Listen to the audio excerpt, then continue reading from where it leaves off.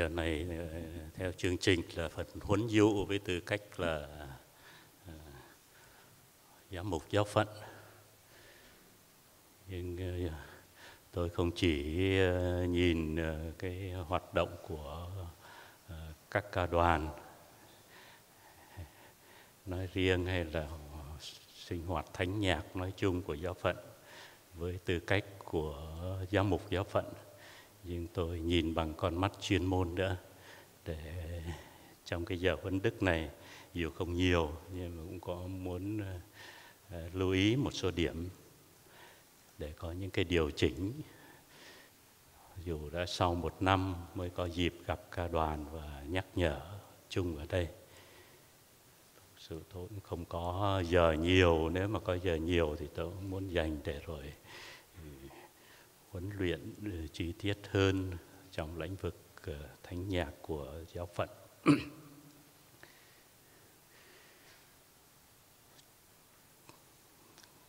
Trước hết nhắc về những cái điều chung mà có lẽ mọi người đều biết, nhưng thực tế tôi quan sát thì vẫn có thể chưa có ý thức đủ. Mặc dù cái sự quan sát của tôi không có nhiều, chỉ đến các giáo sứ vào những dịp lễ này lễ kia thôi mà chắc chắn những lễ dịp đó thì cũng đã có sự chuẩn bị, có cái ý thức ờ, ờ, ờ, đặc biệt hơn rồi. Nhưng mà tôi vẫn còn thấy cần phải nhắc nhở. Còn ngoài ra, lễ thường xuyên hàng tuần ở các giáo xứ thì có thể có, còn có nhiều vấn đề hơn. Nên ở đây xin nhắc chung về những cái điều tôi ghi nhận. Trước hết về vị trí của ca đoàn. Vị trí của ca đoàn nó liên quan đến vị trí của thánh nhạc trong phụng vụ. Ờ, từ cái việc cải cách của Đức Pio 10 thì lúc đó thì xác định thánh nhạc là đầy tớ của phụng vụ. Tôi tớ của phụng vụ nhưng đến cộng đồng Vaticano thứ hai thì xác định thánh nhạc là một phần của phục vụ. Về giáo huấn của giáo hội, nó khác nhau lắm. Đầy tớ thì là chỉ để phục vụ, cần thì phục vụ thôi. Trong khi thành phần của phục vụ là phải có, thiếu không được. Cái tầm mức của thánh nhạc nó quan trọng hơn. Đó là về thánh nhạc. Còn bây giờ ca đoàn cũng vậy. Thì ca đoàn vẫn là thành phần của cộng đoàn phụng vụ. Ý thức mình là thành phần của cộng đoàn phụng vụ, cho nên ở trong cái một cái bầu khí phụng vụ, trong một cái cộng đoàn phụng vụ đó, dù mình có một cái phận vụ riêng, thì mình vẫn là thành phần, cho nên là cái việc của mình vẫn là tham dự phụng vụ, chứ không phải là trình diễn. Mà nhiều người không nhắc điều này thì nhiều người nghĩ là mình đi đến ờ, thanh lễ, cái phần của mình là trình diễn mà lại không có. Đợi đến phần hát thì hát thôi. Và chỉ có cái phần là tới bài hát nào, tới cái phần nào mình hát thôi, chứ ngoài ra ờ, ờ, ở trên bàn thờ rồi cộng đoàn làm gì mình không quan tâm bởi công việc của mình. Nếu mà nghĩ như vậy là sai vậy ở đây phần lớn các ca đoàn vẫn còn duy trì cái việc ờ, cái vị trí là ở trên ờ, trên các đàn. Cái vị trí này là cũ lắm rồi từ trước cộng đồng. Còn ngày hôm nay khi mà bố trí ờ, theo tinh thần phục vụ mới bố trí các nhà thờ thì ca đoàn phải ở gần với càng gần cung thánh càng gần vị chủ tế càng gần các thừa viên các, các thừa tác viên khác bởi vì mỗi cao viên là một thừa tác viên, thừa tác viên âm nhạc trong cái buổi cử hành đó. Bởi vì mình có một cái phận vụ đặc biệt so với những những người còn lại. Cho nên mình càng ở gần cái vị trí cử hành này càng tốt để phối hợp với nhau. Đấy. còn ở trên kia thì đã tự nhiên cái vị trí của mình đã thấy cách xa rồi. Và thậm chí là đứng ngoài cộng đoàn phục vụ. Đúng không? Nó tạo cho mình có cái cảm giác đó và đến phần mình thì mình hát thôi. Còn ngoài ra thì tôi thấy người đứng người ngồi lung tung cả. Lúc ở trong dưới này cộng đoàn đang quỳ sốt sáng ở trên kia vẫn ngồi nói chuyện với nhau. À, thậm chí ờ, ờ, ờ, khi chủ tế đăng giảng thì ôn hát. Có không? Đấy như vậy mình chỉ có lo đi trình diễn thôi. Y như các cái buổi hội diễn văn nghệ vậy chưa tới tiết mục của mình thì mình đứng, mình ôn, mình chuẩn bị cho cái tiết mục của mình thôi. Còn mọi cái đang diễn ra trên này nó không phải của mình. Mình không có tham gia phục vụ. Cho nên mỗi lần đi hát như vậy, về thử hồi tâm, thử xét mình xem là mình có tham dự cái thánh lễ đó xuất sáng hay không? Có cần phải đi dự một lễ khác để bù vào cái lễ chủ nhật đó hay không? Đấy, cho nên đây là một cái điều nhắc nhớ mà tôi ờ, phải nhắc đi nhắc lại. Mặc dù biết đó, nhưng mà thực tế mọi người đều đều quên rằng mình thuộc về cộng đoàn cộng đoàn phục vụ.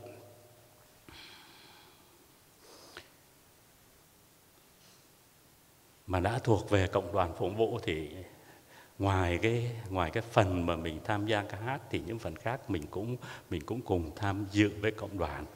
Từ cái tư thế ờ, cộng đoàn đứng, mình đứng, cộng đoàn ngồi, mình ngồi. Rồi cái tâm tình, cái thái độ để tham dự nó cho nó phù hợp. Rồi, một điều nữa, mình đã thuộc về cộng đoàn phục vụ, mặc dù có một cái phận vụ riêng. Tôi thấy vẫn tồn tại vừa rồi trong ờ, kỳ họp ờ, kỳ tĩnh tâm của các linh mục tôi cũng đã nhắc làm sao để điều chỉnh lại cho nó hợp lý hơn. Tới cái phần rước lễ, bởi vì cộng đoàn tách biệt rồi ở trên, và ờ, nhất là cái phần hiệp lễ thì là tranh thủ cái thời gian để mình trình diễn, đó là cái lúc mà của mình. Ờ, lo hát rồi thậm chí không một bài mà hai bài và hát rất là dài ở dưới này cộng đoàn đã rước lễ xong rồi, ở trên kia vẫn vẫn cố tình hát. Thừa tác viên đi lên trang mình thánh phải đứng chờ. Không biết chị em có để ý cái hình ảnh một thừa tác viên với mình thánh chúa trên tay mà phải đứng chờ mình. Mình như thể là mình quan trọng lắm, còn ngon hơn là chúa giêsu thánh thể đang phải chờ ở một cái góc kia, đợi mình trình diễn xong rồi như là các ngôi sao ca nhạc đó lên, chúa phải đến đứng đợi để xin chữ ký. Đúng không? Đấy. Cho nên làm sao phải kết thúc cái phần đó sau khi cộng đoàn rước lễ xong, theo phục vụ đó là cái giờ phút thinh lặng để mọi người nội tâm hóa kết hợp với Chúa, cho mình cần phải kết thúc cái việc hát đó sớm trước đây thì kết hợp ờ, thì thường thường hát kết thúc sớm để để dành chỗ cho cái phường kèn nó thổi. Ờ, sau này tôi đề nghị là là ờ, đã phục vụ rồi thì không có không có kèn trống bởi vì nó không phù hợp. Thì lại càng tranh thủ cái thời gian đó để mà hát. Tôi, những cái lễ mà tôi đi dự là tôi ngồi trên này đợi rất là lâu. Thừa tác viên đứng ờ, cầm bình mình thánh chúa lủi thủi ở một góc chờ. Bất kính. Đó, cho nên là khi có thừa tác viên rồi một bài hát nó chưa kết thúc cái, cái câu điệp khúc ờ, thôi thì mình phải lần lượt trong trật tự. Ờ, mình rất lẽ nếu kết thúc sớm được càng tốt. Còn nếu mà đăng nó đang dở dang thì cũng phải phải từng người lần lượt mà việc rước Chúa bởi vì tham dự phục vụ vào cái việc rước, rước Chúa là chính chứ không phải là cái việc ca hát là chính đâu. Đó, cho mình tham dự thánh lễ và việc rước lễ nó là kết quả của cả cái thánh lễ cả cái hy tế mình tham dự. Cho nên việc rước lễ mới là chính chứ không phải việc ca hát là chính. Phải phân biệt cái nào là chính cái nào là phụ. Đấy cho nên cái vị trí của ca đoàn à, thuộc về cộng đoàn phục vụ. Thì à, lưu ý mấy cái ờ, ờ, một số cái điểm chính như vậy. Rồi vai trò của ca đoàn hay là cái phận vụ liên quan đến cái phận vụ của anh chị em so với uh, phần lớn cộng đoàn hay mình vẫn gọi là uh, những người giáo dân còn lại uh, thì mình có một cái vai trò một cái phận vụ đặc biệt nhưng mà vẫn ờ, đừng có nghĩ đặc biệt là mình thành sao trong cái cộng đoàn đó. Mình vẫn thuộc về cộng đoàn đó. Và cái chính cái phận vụ của mình là giúp cộng đoàn cử hành phụng vụ, giúp cộng đoàn cầu nguyện một cách sốt sắng cho nên cái vai trò của ca đoàn chỉ là dẫn dắt thôi. Nhất là trong cái việc hát phụng vụ, hát phân biệt hát phụng vụ là là những cái bản văn của phục vụ. Không có hát thì vẫn đọc. Thì gọi là hát gọi là hát phụng vụ. Và cái phần đó mới là phần chính. Thánh lễ có kinh vinh danh không hát vẫn phải đọc. À, bây giờ sốt sáng hơn hát đó mới là bản văn phụng vụ hát phụng vụ. Thánh thánh thánh ờ, không hát cũng phải đọc. Đó mới là bản văn văn phụng vụ. Đáp ca vân vân. Đó hay mình vẫn gọi chung là thánh vịnh đáp ca rồi bộ lễ đó là phần hát phục vụ. Mà phần đó là của chung cộng đoàn. Chứ mình không có thay thế. Nên cũng đừng có dành mất cái phần của cộng đoàn. Dẫn phần đó ví dụ hát bộ lễ phải làm sao, những bộ lễ quen chứ đừng cố gắng rồi cứ thỉnh thoảng đưa cái bộ lễ mới, bộ lễ lạ vào mà chẳng có tập cho ca đoàn. Dĩ nhiên là cũng khuyến khích để cho cái việc ca hát nó phong phú. Ờ, cũng phải ba, bốn bộ lễ thay đổi đi.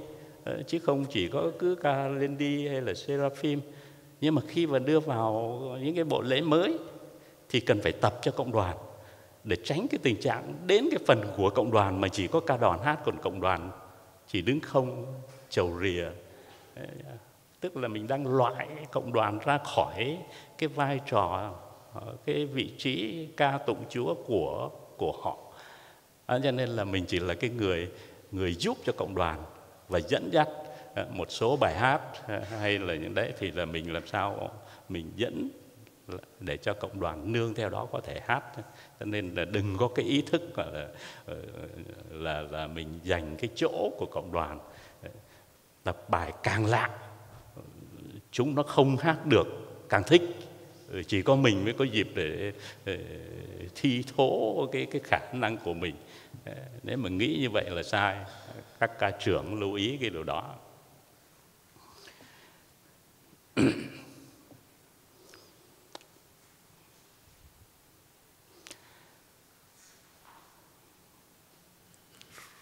Ngoài cái hát phụng vụ, có lẽ ờ, những cái bài hát mà chúng ta gọi cái ờ, mẫu thức bốn bài trong thanh lễ không các trưởng khi các trưởng nói khi mà bắt đầu dọn hát là bắt đầu có trong đầu gọi là cái mô thức bốn bài nhập lễ dân lễ hiệp lễ kết lễ cái phần đó không có quan trọng đâu trong thánh nhạc cái phần đó chỉ gọi là những bài hát thay thế thôi thay thế có nghĩa là ca nhập lễ ly lễ ngày thường đó vẫn có cái câu đọc thấy không Ờ, ra ra vẫn đọc cái câu nhập ca nhập lễ, đó mới là cái cái cái phần phục vụ. Còn mình có hát cái bài đó là bài thay cho cái câu đọc đó thôi. Hay là hiệp lễ ờ, lúc bắt đầu sau khi linh mục trên này rước lễ xong cũng có đọc cái câu. Đó. hay là ai có sách ờ, tham dự lễ có cái câu ca hiệp lễ, đó mới là cái bản văn phục vụ. Còn bây giờ mình hát cái bài hiệp lễ thay vào cho nên mới gọi là bài bài ca thay thế. Cho nên nó không phải là phục vụ, và cũng không có không có quan trọng lắm và nó chỉ đi với cái cái cái, cái nghi thức lúc đó. Bài nhập lễ là đi với cái cái cuộc rước linh mục ra cho nên là linh mục đã ra rồi. Nếu mà có rước ờ, xa thì ở dưới lên đã hôn chào sông hương xong rồi. Thì đi với cái hành động đó. Cha sông hương xong rồi rồi đã sẵn sàng ở ở cái vị trí chủ tọa rồi. Vẫn còn một ờ, câu phiên, phiên khúc thậm chí hai câu phiên khúc tiếp theo. Cả cộng đoàn chờ cả cộng đoàn đang tham dự tiết mục văn nghệ. Thì vẫn là chật. Những bài ca đó thường thường nó đi theo một cái nghi thức ờ, và cái nghi thức đó kết thúc hay là rước lễ cũng vậy, nhất là dân lễ. Dân lễ có nhiều khi là dân lễ mọi thứ, linh mục đặt bánh đặt rượu, mọi thứ xong xuôi, sông hương xong rồi, vẫn đứng chờ. Thì thì không phải. Mình đã kéo dài cái phần phụ ra mình làm cho cái cái cái cái buổi cử hành nó kéo dài, nó loãng ra. Nếu mà chúng ta để ý, thánh lẽ là cả một cái tổng thể phục vụ, chính cái việc ca hát kéo dài của chúng ta không không hợp lý, làm loãng cái bầu khí phục vụ và thậm chí làm hỏng cả cái cái buổi cử hành, biến cái phụ thành thành cái chính, lấy cái phụ lấn át cái chính.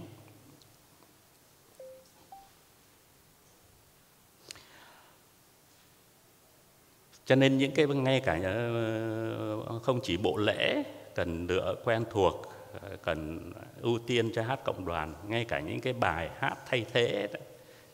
bởi vì mình giúp cho cộng đoàn tham dự, giúp cho cộng đoàn cầu nguyện cũng cũng nên hát đi hát lại những cái bài quen bởi vì không, bài không quen thì làm sao họ cầu nguyện mình để ý nghe về nghe về nghe các cái bài thu sẵn rồi nghe CD ừ, lắm khi ca sĩ chuyên nghiệp người ta phối âm chuyên nghiệp. Có khi nghe vài ba lần mới mới mới, mới nghe rõ cái lời mới biết lời nó hát cái gì.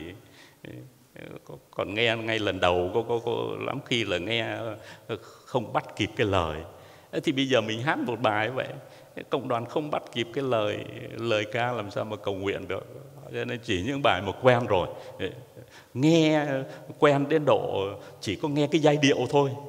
Là người ta đã có cái cái cái tâm tình của cái lời ca đó trong đầu rồi.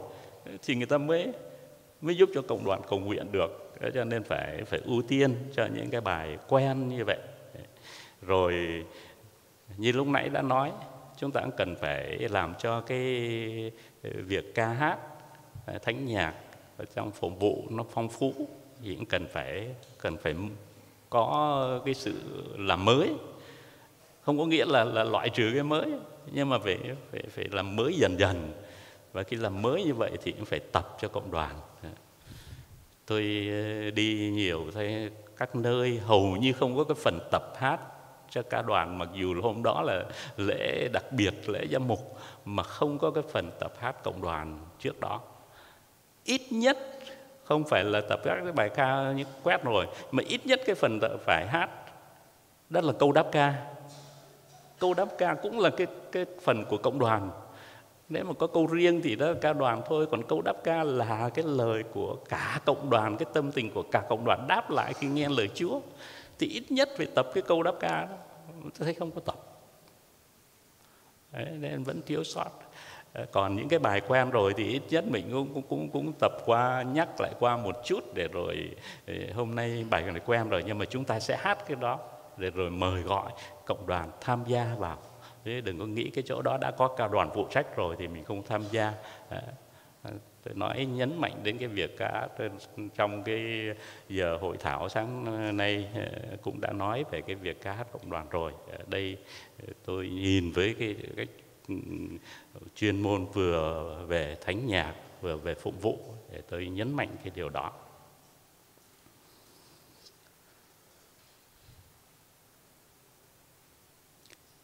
Đó là vai trò à, bây giờ về để thực hiện cái vai trò của mình. Anh chủ lúc nãy đã nói đến hát phụng vụ. Thì hát phụng vụ tức là những cái bản văn phụng vụ. Ờ, không hát cũng phải đọc. Ờ, bây giờ có âm nhạc thì làm cho những cái lời mình đọc đó nó có tâm tình hơn, nó có giai điệu du dương hơn, nó trở thành cái lời ca, lời cầu nguyện. Ờ, nói theo kiểu như vậy, chúa là con người quá ngọt ngào hơn để dễ nghe, chúa dễ nghe hơn. Bởi mục đích âm nhạc là vậy, làm cho lời cầu nguyện trở nên dịu dàng rồi khi mọi người hát thì cổ vũ cái sự đồng tâm nhất trí. Cho nên là ờ, khi thực khi hát ca hát phụng vụ tức là những cái bản văn phụng vụ đó vẫn phân biệt có những cái phần ưu tiên số một.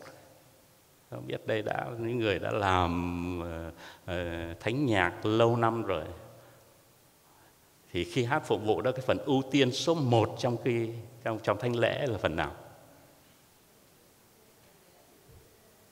Ừ? có micro ở dưới đâu, ai nói thử cái nào? Kiểm tra trình độ ờ, thánh nhạc ờ, của các ca trưởng đây là có cái micro nào không? Đâu, ai ai nói đưa tay lên nói thử cái nào? Nãy thấy góc này có mấy người nói đó. Ờ.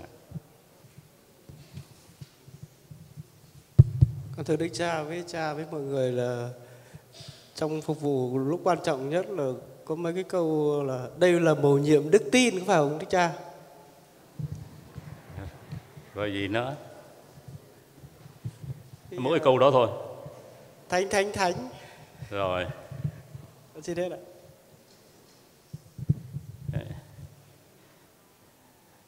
đấy, nói vậy là đúng rồi đó, nhưng mà ờ, nói chung là những câu tung hô.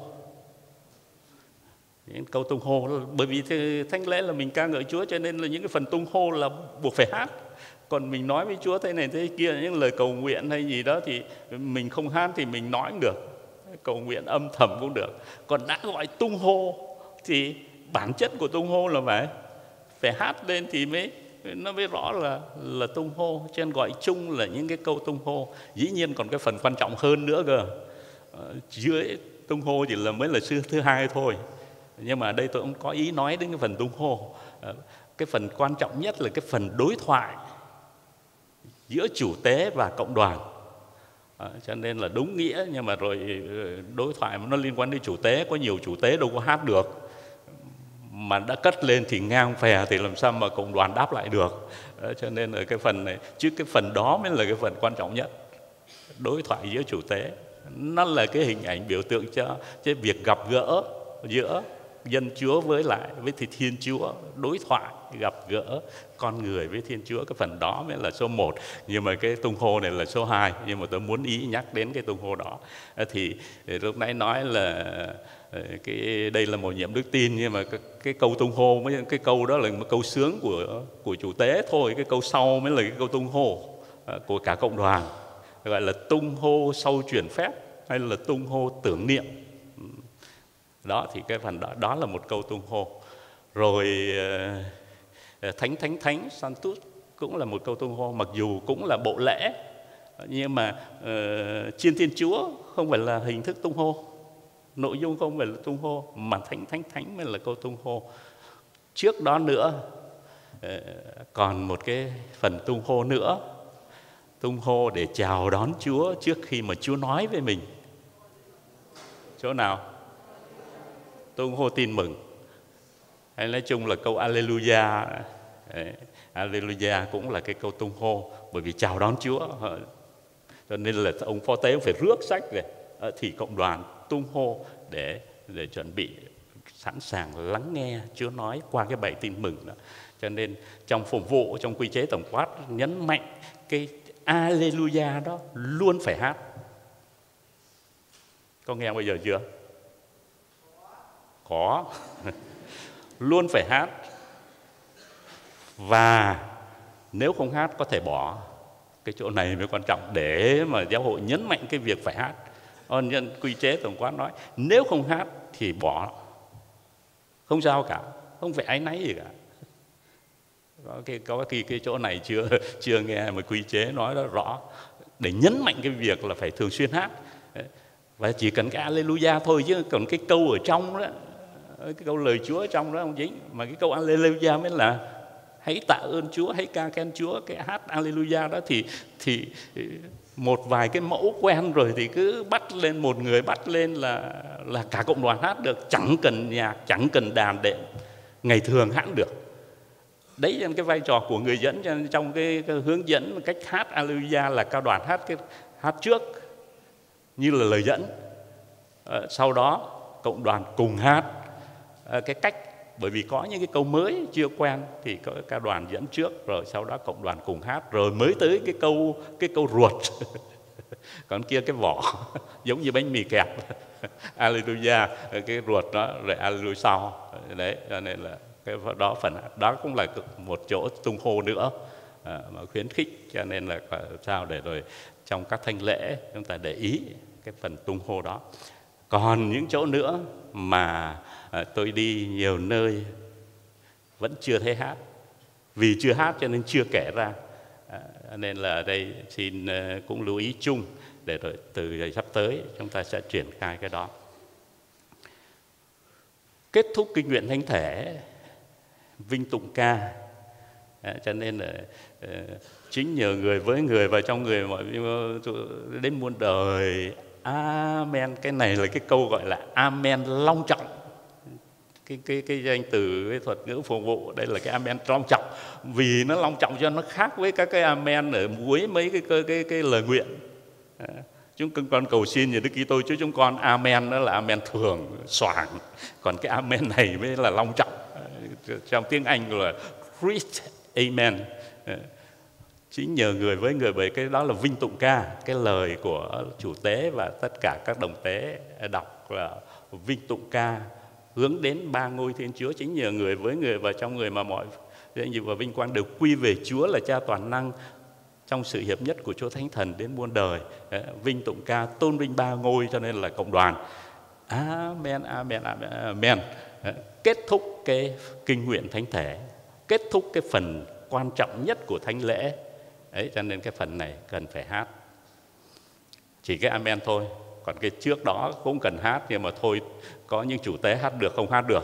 Ờ, thì, thì, thì mình suy xá ờ, thông cảm cho các cha.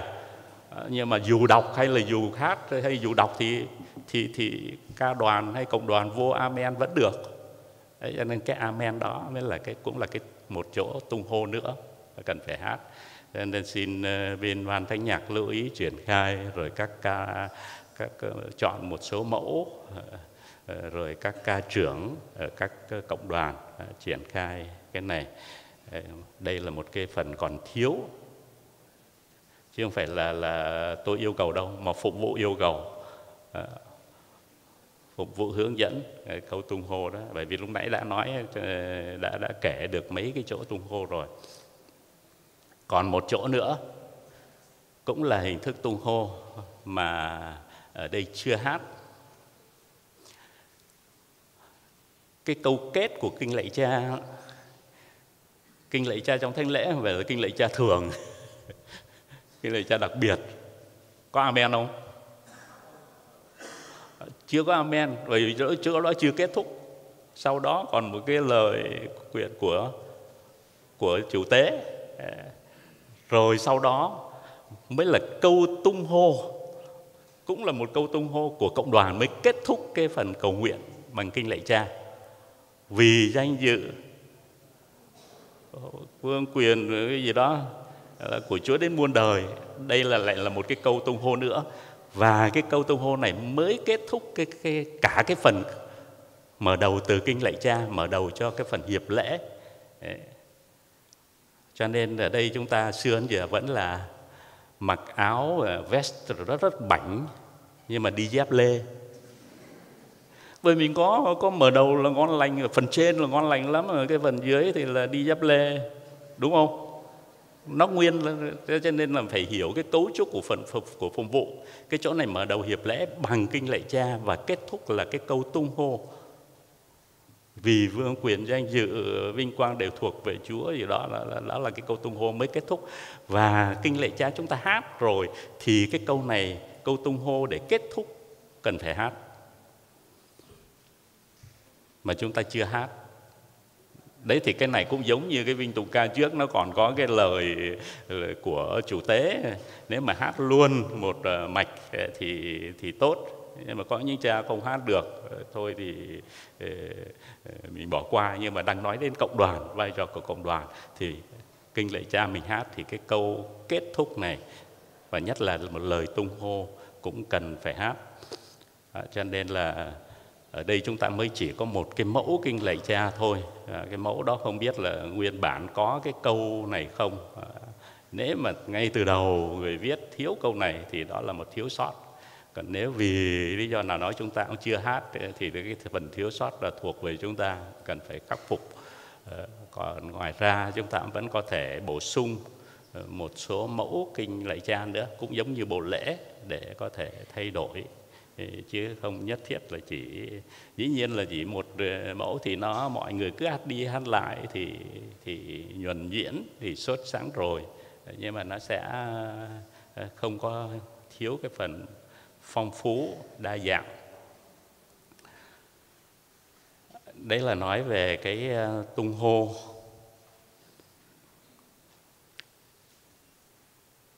Các bài ca thay thế. Ờ, hết giờ rồi. Thôi nói thêm một chút nữa, một cái điểm nữa thôi. Ờ, liên quan đến đệm đàn và dạo đàn một chút. Đệm đàn thì có lẽ trong các cái lớp đệm đàn cũng ờ, ấy rồi, đây tôi chỉ nhắc chung thôi. Đệm đàn trong phục vụ nó khác với với với với đệm đàn ở trên sân khấu, đệm đàn ở quán bar, đệm đàn ở đám tiệc cho nên nhưng mà rồi người đệm đàn ờ, ca đoàn đã vậy mà nhất là người đệm đàn thì ít nhiều cũng có cái máu nghệ sĩ. Mà máu đó thì lúc nào nó cũng chảy nó cũng chẳng phân biệt là nó chảy trong uh, uh, quán xá hay là nó chảy trong cái lúc cử hành phục vụ. Nhiều khi là trong phục vụ đó nhưng mà nó hăng máu lên thì thì lúc đó là cũng y như là ở quán bar vậy ở trên sân khấu vậy. À, mình nhớ ý thức ngay từ đầu nói là mình đang thành phần phục vụ. Ờ, đệm đàn nó phải, vẫn phải chừng mực, giúp cho cộng đoàn, cầu nguyện. Dù ở đâu cũng vậy, cái phần nhạc đệm chỉ là cái phần nâng đỡ cho cái giọng chính thôi, sân khấu cũng vậy thôi. Nhưng mà sân khấu thì chúng ta cái ờ, hệ thống âm thanh nó chất lượng hơn và cái quan trọng nó có cái người ờ, điều chỉnh, master để rồi, dù chơi nhạc nó có như, có quá một tí, quá tay một tí, nhưng mà người ta vẫn chỉnh để cho cái tiếng nhạc nó không có át cái cái lời hát, cái giọng hát. Còn trong phục vụ chúng ta thì không có cái người chỉnh đó. Ờ, cho nên mình ờ, và không phải chỉ là về âm lượng đâu, mà cái cách cái cách để đàn cũng sao cho nó nó phù hợp với phục vụ đó là nói nhắc chung vậy thôi phân biệt. Một điểm nữa quan trọng hơn có lẽ nhiều ờ, người đệm đàn không để ý đó là dạo đàn.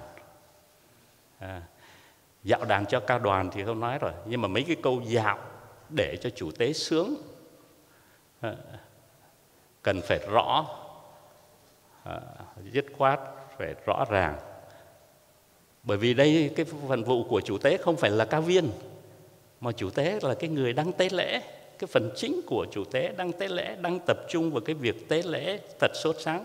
Cho nên không phải là ca viên chỉ đứng đây nghe nhạc để rồi bắt cái tông để mà hát liền. Và như, nếu mà như vậy, tập trung như vậy, nó sẽ chê chỉ lo ra. Bản thân tôi tôi chỉ nghe qua là ấy, nhưng mà lắm khi mình đang tập trung vào đây, có đàn tôi cũng không có không có để ý nghe đàn cho nên lúc này nhớ là chủ tế đang làm việc chủ tế, chứ chủ tế không phải là cái người người trình diễn hay là cao viên sẵn sàng ngồi chờ ờ, để rồi có bắt được cái tông đó mà hát sướng.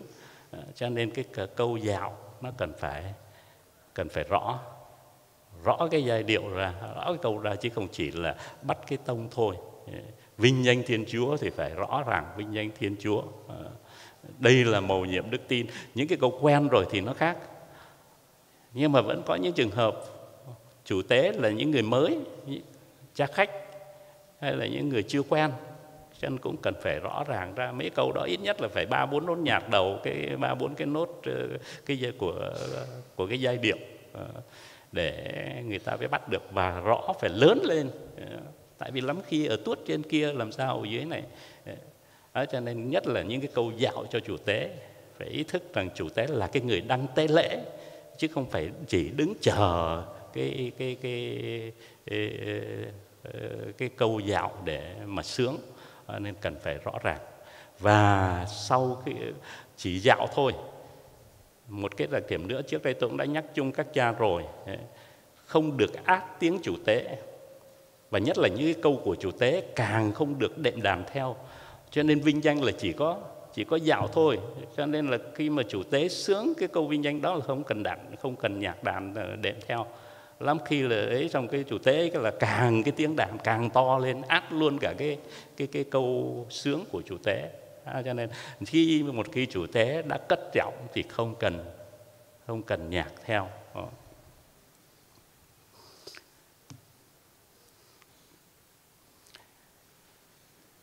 đấy, cho nên là vinh danh này à, tung hô sau truyền phép, đây là một nhiệm đức tin à, à, rồi kinh lạy cha, vân vân.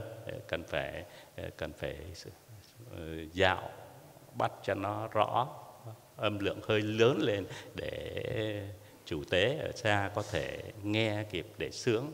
Ờ, và khi đã bắt rồi thì thì thì ờ, ngưng cái không có dạo theo nhất là cái câu vinh danh ấy, nó hơi dài tí là, là, là, là đệm theo ờ, thì không cần thiết.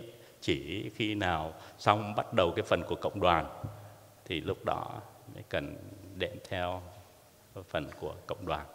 Đó là vài cái ờ, ờ, lưu ý ở đây để liên quan đến đến phục vụ để, để hy vọng ở đây những người có cái trách nhiệm ca trưởng người đệm đàn ờ, về giúp cho các ca viên các thành viên trong ca đoàn của mình ý thức cái việc đó để cái việc uh, tham gia phục vụ các cái buổi cử hành phục vụ qua cái việc ca hát qua cái khả năng Chúa ban cho chúng ta uh, sẽ hiệu quả hơn giúp cho cộng đoàn cử hành phục vụ cách xuất sắc hơn.